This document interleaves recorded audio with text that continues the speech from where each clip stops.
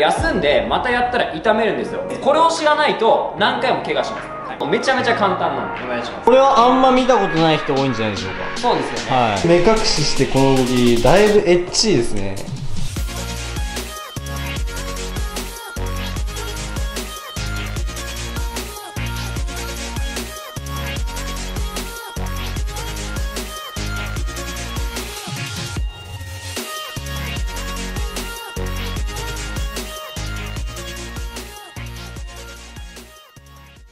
こんにちはパワーチームの直人です、ウッシーです。えー今日ですねベンチプレスの肩の痛みについて説明していきます。でこれの改善方法と原因について説明していきたいと思います。よろしくお願いします。でベンチプレスって肩痛くしたこと多分ほとんどの人が1回はあるはずだと思うまあまあまあまあまあまあ多いですね。で大体休んで治しません？うんまあそういう方が多数派なのかなと思います、でも結局休んでまたやったら痛めるんですよ。これは何でかっていうと改善方法も知らないしあと原因が知らないから。はいはいはい。はいここをまず知ってもらわないとダメです。なるほど。うん、でもそんなのなんか分かんないよ。難しいよと思うじゃないですか。うん大丈夫ですよ。これ見終わったら確実にすぐ分かるよねなるほど。めちゃめちゃ簡単なんで、お願いします、うん。じゃあ行きましょうか、はい。まずは原因を知ってくださいまず原因です。これを知らないと何回も怪我します、はい。でまず怪我してるとこってあるじゃないですか、例えば肩痛いですよね。肩って前肩後ろこの上の肩甲ってポコってなってるとこ。大体ここがみんなどこが痛くなると思うんですよ。うんそうですね。で痛いところっていうのは動いてるところです。うん痛いところは動いてるんですよ。だから怪我するんです。動いてるから痛いと。そう。で前にウッディが言ってましたね。大小動作っていうのがあるじゃないですか、ん。どっかが悪いから動くんですよそこの代償として。そこが無理をしちゃう。っていうねそう、はい。だから肩が痛いってことはどっかの代わりに肩が動いてるんですよ。簡単じゃないですか。うんだから痛くなるんですよ、はいはいはいはいはい。じゃあどこが痛いのかっていうのを説明していきます、はい。まずは前肩からいきましょうか、はい。前肩っていうのはベンチプレスでこの押し込む時に痛いですよね大体。痛いです。うん。でこの時ってじゃあどこが硬いかっていうとどこだと思います？えー、どこだろう。前肩がそう前肩が動いちゃうんですもんね、そこが動かないことによってえー、どうなんですか？背中なのかな？背中が動いてなかったらやっぱはいはいはいはい。さすがですね。やっぱ正解なんですよ。おそう。後ろなんですよ。実は。後ろ、うん。でもこれって皆さん知らないですよね。ベンチプレスでえ背中？ってなるじゃないですか。確かに確かに。でも動かしてこの時背中寄ってますよね。寄ってます。ね。で押しますよね、はい。ってことは寄った背中は前に行くじゃないですか。そうですね。でもここでもう筋肉硬くなってこれ以上背中が伸びなかったらどうですか？もう肩で行くしかないそうですよね。ってことは肩が動いてますよね。はい。だから肩を痛めるんですよ。あめっちゃ簡単です。なるほどなるほど、うん。これは背中が動かないから肩が動あー背中で押す分を肩がやっちゃってるんくですよ。そういうこと大です。小動作がそういうこと。それが代償動作なんですよ。うん。はいじゃあ前分かりましたよね。はい。じゃあ後ろ行きましょうか、はい。じゃあ後ろっていうのは逆の動きなんで簡単ですね。胸じゃないですか。正解です。うん。もうこれ簡単ですよね。はいはい。後ろは胸が張ってるから。うん。じゃあどこの動き？下ろしてくるときに胸が張ってきます。はいはい。でももう胸硬いからこれ以上いけない、はい。じゃあどこで下ろすの？ってなると肩の後ろだはい。そういうことです。もうこれでわかるじゃないですか、はいはいはいはいはい。だからこういうふうに考えていくと簡単にわかるんですよ。じゃあ、どうしたらいいか後ろが痛い人は胸をほぐせばいいです。ようんうん。前肩が痛い人は広背筋背中をほぐしてあげればいいんです。うんなるほど。そういうことです。でもう一つさっきここ憲法っていうのですね、はいはいはい。よくインピンジメントとかって言われるやつですね、はいはいはいよく最近多いんじゃないですか。そう。これは肩の虚上が入るからです。うん。上がっちゃうから。首長族に慣れてない人だ。まさにそういうことですね、はい。前の動画で首長族になりましょうって話をしたじゃないですか、これは肩甲骨が上に上がっちゃってここがぶつかるんですよ。うんまあちょっと難しいこと言うとちょっと分かりづらくなっちゃうんでまあ単純にここがぶつかるっていうふうに覚えておいてください。肩が上がると。肩甲骨上がるとね。だからってことは上がるんだから下げればいい。正解です。よく言いますね。加勢させましょう。はいはいはいはい。これができてない人がほとんど。だから痛めるんです。大体ベンチプレスってデータ首長族になっちゃって。牛山さんですよね。ウッディ上田です。すいません気づかずに。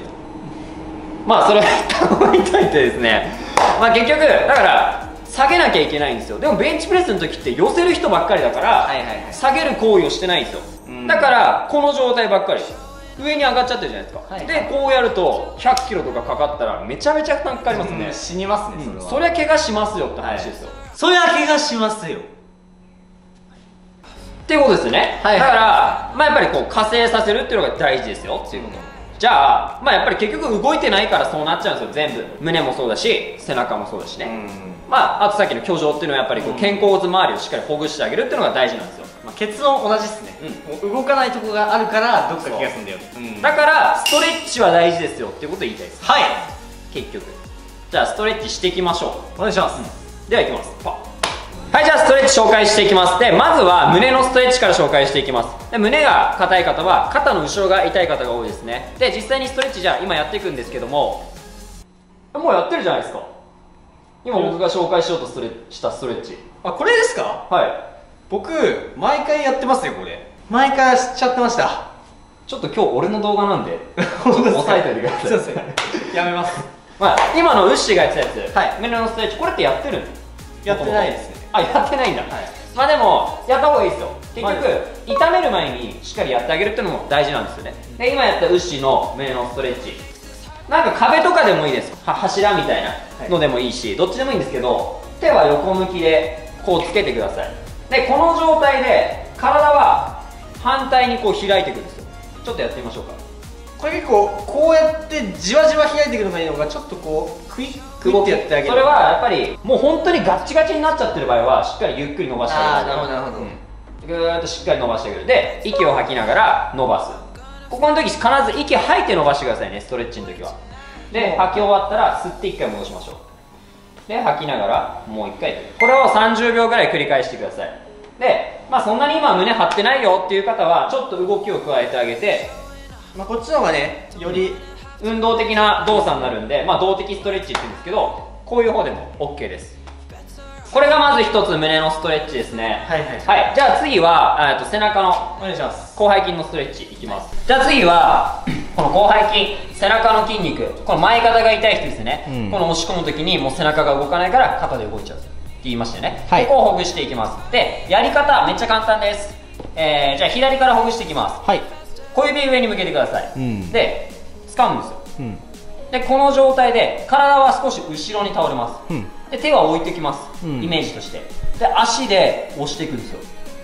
おこういう動作をすると背中の筋肉ギューって引っ張られます。はいはいはいはいぐはい。これも息を吐きながらぐーっと30秒ぐらい。本当にガッチガチな人はやっぱりしっかり伸ばしてあげる。えー、ちょっとこれはあんま見たことない人多いんじゃないでしょうか。そうですよね、はい。これをしっかりやってあげるってめちゃめちゃ大事です。うん。で短い時間だけやってもガチガチな人ってあんまりほぐれないんで、うん。しっかり自分でほぐれたなって確認できるとこまでしっかりほぐしてください。じっくり。はい、うん。じっくりコトコト、はい。ほぐしてください、はいじゃあ次はウッシーちょっとやってみてもらっていいかな？了解です。じゃあ小指上に向けてそうですそうです。はい、掴んでここで。